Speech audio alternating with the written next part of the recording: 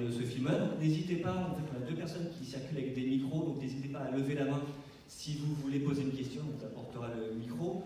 Euh, en attendant, pour commencer, euh, je pense qu'on est beaucoup à avoir découvert euh, l'histoire de Mohamedou grâce à ce film. Est-ce que ça a été ton cas aussi quand on t'a parlé du projet? Absolument, j'ai tout découvert comme vous, mais avec un scénario. C'est-à-dire que quand je reçois le scénario de Kevin McDonald, c'est le titre du film et le titre du bouquin, Guantanamo d'ailleurs. Comme très souvent, j'ai reçu des, des propositions outre-Atlantique et même européennes euh, sur le sujet qui me déplaisait parce que trop, euh, trop stéréotype, j'ai eu un instant où j'ai un peu tremblé. Et connaissant Kevin, je me suis dit non, c'est pas possible.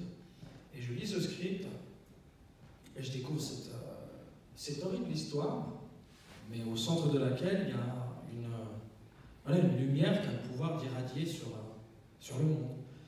Quand je termine le script, j'ai pleuré deux fois en découvrant cette histoire. J'étais aussi en colère et euh, très rapidement, je me suis dit que j'avais besoin, pas seulement envie, de m'aligner dans les gens qui voulaient leur rendre justice. Alors euh, voilà, j'ai dit oui.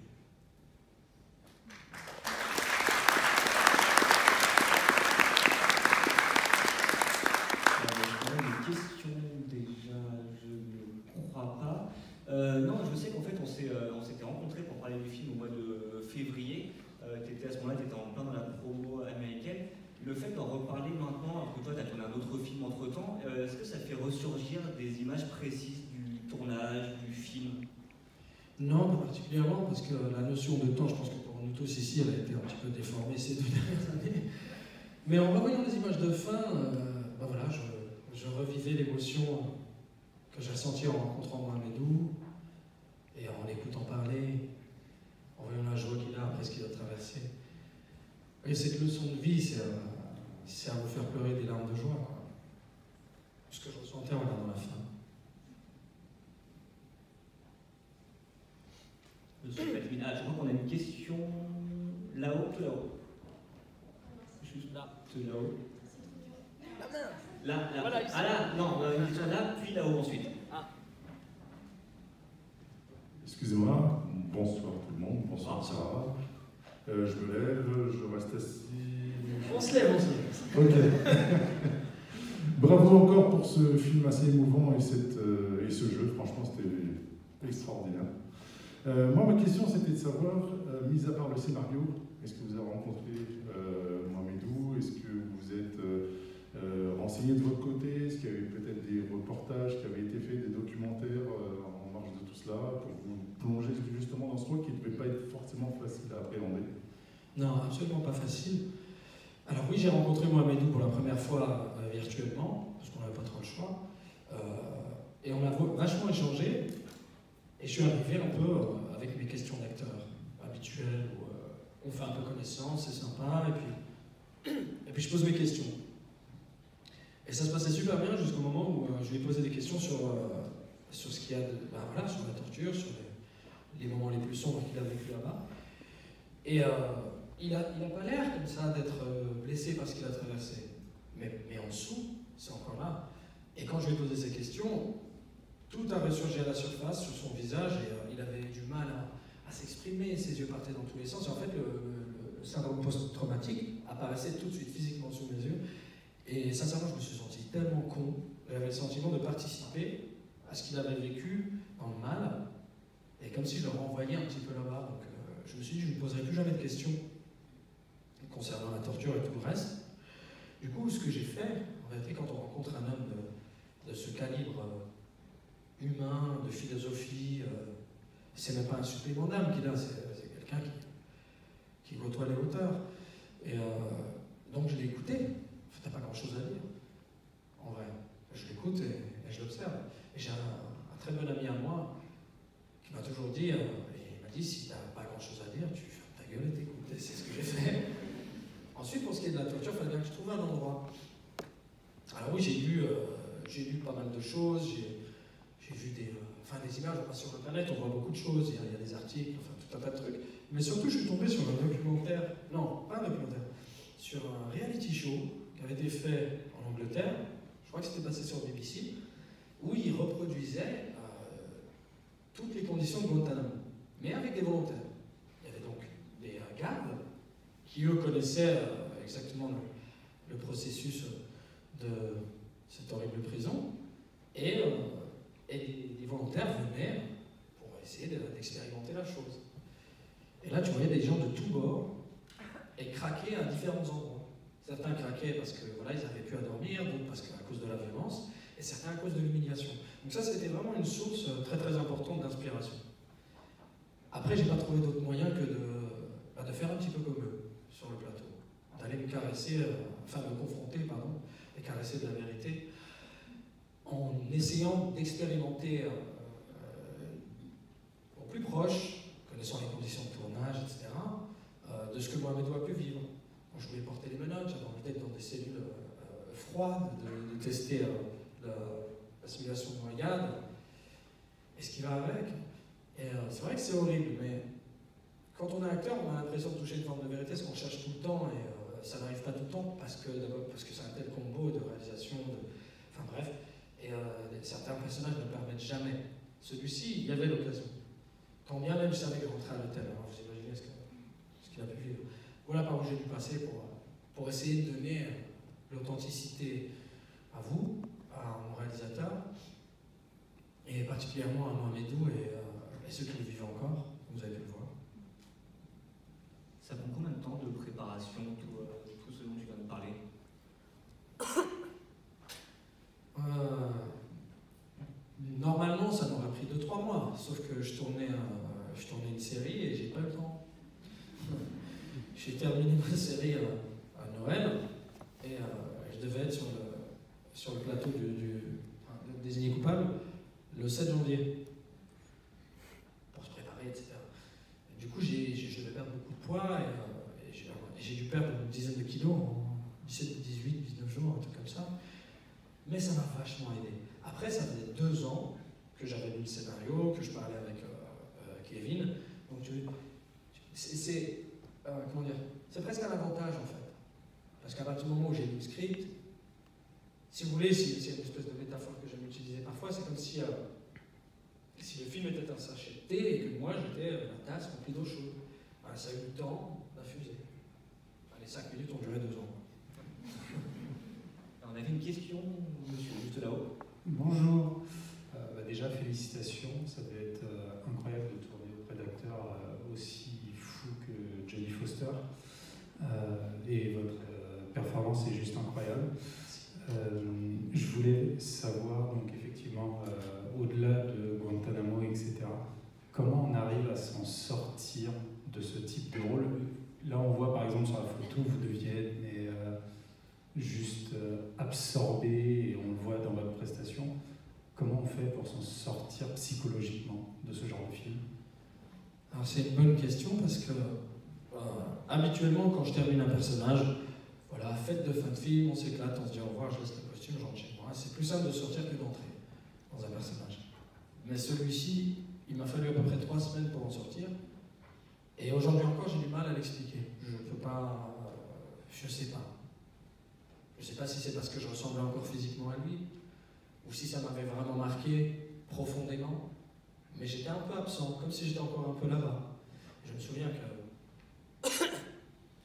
Posé une question, mon entourage m'a posé une question, on me dit ah, c'était comment, c'était comment et je, leur ai dit je, en fait, je ne peux pas vous expliquer. Il aura fallu être là. Donc je dit la même chose. On avait une question Oui, bonsoir. Bravo pour ce très très bon film et votre excellente prestation. Euh, moi, je me posais la question justement, quand, on voit le film, on pense aussi forcément à un prophète, parce qu'il y a aussi cette notion d'enfermement. J'imagine que ça vous, a, enfin, êtes servi de l'expérience d'un prophète pour, euh, pour, euh, pour désigner coupable d'une certaine façon Alors pour moi, c'est deux films absolument différents. Que ce soit le personnage, que ce soit l'histoire, ce que ça raconte, toutes les thématiques. À part les barreaux, c'est le seul point commun. Mais j'ai pu utiliser un truc que j'avais appris sur un prophète, qui était euh, comment occuper un espace restreint. Comment le faire vivre quand on rien, pas d'objet. Qu'est-ce que fait un mec tout seul dans sa cellule? Ça, ça m'a servi. D'accord. Ah, juste là. grand, grand bravo.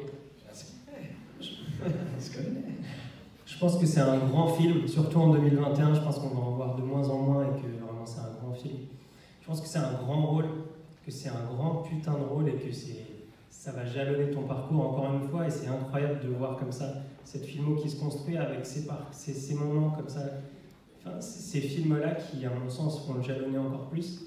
Et c'est incroyable de voir comment il y a des choses qui se recoupent euh, dans ces rôles que tu incarnes et euh, la spiritualité et, euh, et, vraiment beaucoup de choses. Et je sais pas, moi effectivement j'y vois des clins d'œil comme ça, on voit des choses que, que je retrouve dans d'autres rôles de toi, mais ça c'est un regard peut-être que je pose sur le film. Mais est-ce que toi tu vois des choses que tu retrouves dans certains personnages?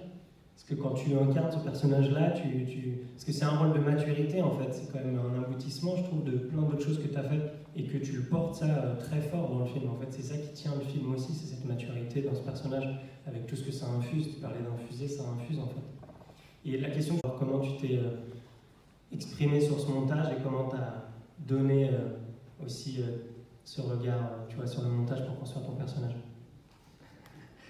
T'as soulevé le voile, Julien. enfin, euh, oui, il est vrai que euh, j'ai jamais. On ne peut pas dire que j'ai participé au montage. Ça serait, euh, serait prétentieux que de dire ça, mais Kevin, on avait une relation tellement proche et privilégiée. On, depuis, le début, quand il m'a envoyé ce script, on a échangé ensemble. On a parlé deux ans quand même assez régulièrement sur, sur le personnage, sur où va le film, pourquoi il va dans cette direction, qu'est-ce qu'on a envie de raconter, de quelle façon on a envie. Par exemple, le, besoin de montrer un personnage, euh, euh, musulman positif, c'était évidemment ce bouquin, c'est lui. Mais de ne pas en faire, euh, enfin, que ce soit une victime d'un système, broyé par un système, mais qu'il ne soit pas lui-même dans un comportement de victime, et physiquement ne ressemblant pas au stéréotype habituel, qu'il a il a pu porter des, une barbe à un moment donné, puis laisser les cheveux. On a eu envie que physiquement ce personnage puisse ressembler à n'importe quel prisonnier, parce que si on le prend, on le met dans un autre contexte, pour un autre crime, euh, l'histoire tient debout. Même innocent, j'aurais joué de la même façon, en tout cas j'aurais donné la même chose. Pour ce qui est du montage, c'est qu'on a vachement échangé et j'ai eu euh, euh, l'horrible expérience de découvrir la violence d'un premier vrai montage présentable. Je ne sais pas ce que c'est. Quand on est acteur, on voit le, film fini à un moment donné, on le prend, on est content, on se dit ah, peut-être cette prise aurait été mieux ou l'autre, etc. Mais bon, il faut leur faire confiance, et ça fait des mois et des mois qu'ils sont en ça. Maintenant, moi, il me dit, il me l'envoie, parce que j'étais un peu impatient, euh, c'était le Covid et tout, on se faisait chier à la maison, tout, c'était bon, j'avais la plaie, c'est Kevin, alors, où Et à un moment donné, il me dit, je vais t'envoyer le film d'ici une semaine ou deux, hein, le jour arrive. Super excité, je le regarde, et je me dis, mais euh, ce que j'ai vécu et ce que je vois, c'est deux films différents, quasi pas. Mais il y a, des choses que je ne retrouve pas, que je ne ressens pas. Je me dis, mais qu'est-ce qui se passe? Mais Pourquoi c'est pas ce que j'imaginais? Et c'est extrêmement violent. Ensuite, je ne sais pas trop comment faire, parce que c'est la première fois que, je, peux échanger avec un réalisateur sur le montage. Donc je, suis un peu penaud, je ne sais pas trop par où passer. Et je, je fais un mail un petit peu euh, poli, gentil, etc. par en dessous, et lui m'envoie un mail en trois phrases, il me dit écoute, si je t'envoie le film, c'est pour avoir ton avis, donc dis-moi ce que je pense. Je dis pas ok, hein. je lui ai envoyé des mois. et du coup, on a échangé. Il a regretté, du coup.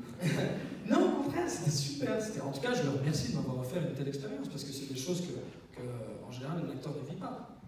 C'est des choses qui, qui, sont en salle de montage, entre un producteur, un réalisateur, euh, euh, le chef opérateur. Et oui, il est vrai que moi, ça m'a enrichi aussi. Et j'ai compris quel était l'incroyable, enfin, titanesque travail que les monteurs et les réalisateurs font dans la petite salle, tout seul, en dessous, dans la cave. Et à quel point ils nous subliment aussi. Voilà. Euh, une autre question juste là. Bonsoir. Euh, je voulais vous poser une question, euh, plus notamment concernant la, foi, la religion, le Mohamedou.